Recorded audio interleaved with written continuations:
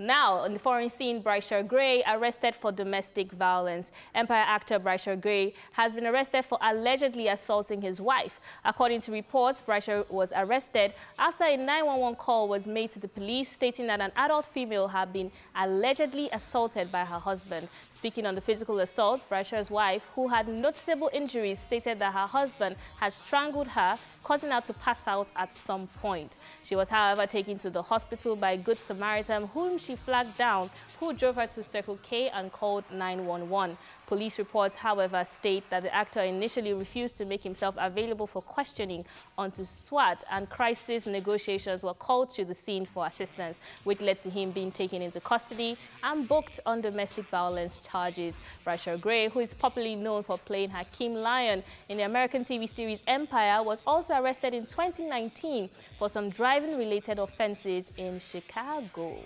What is it with um, is it Empire actors and misbehaving? Hey! And allegedly, allegedly misbehaving. Well, I've turned this into a team. Allegedly misbehaving.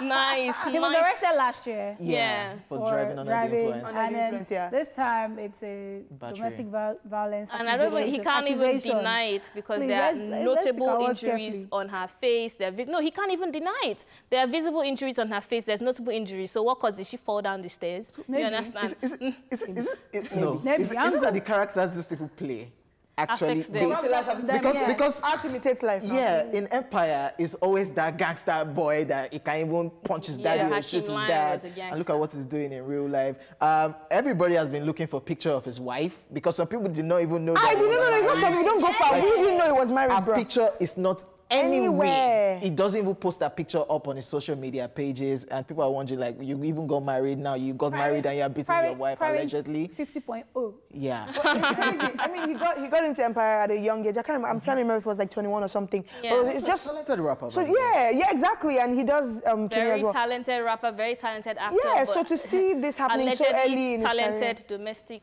violence uh, abuser, I'm, alleged. I'm not around. You're not around, but hmm. honestly speaking, if this is true, then shame on him. Yeah, of course. I mean, shame. if it's true, because at the end of the day, you cannot carry your celebrity status and be mistreating your your wife for SWAT to come and pick you. He didn't want to come out. Are you joking? That's that's when they now involved yeah. other people. Like, wow. like this is a stubborn person. we have to take this to the next level. okay, okay, okay, okay. Let me come out. Jeez, he thought he was in Empire. Well, wow. We'll see how this goes. Maybe we'll this see a picture lion, in the lion, future. This thing, your father does not. Lucious Lyon, come and carry your son. Lucious to save you this time, but we'll, we'll keep our fingers crossed and then we'll, we'll see how this story unfolds. Yeah, definitely. All right, guys, that's all we can take on entertainment news today.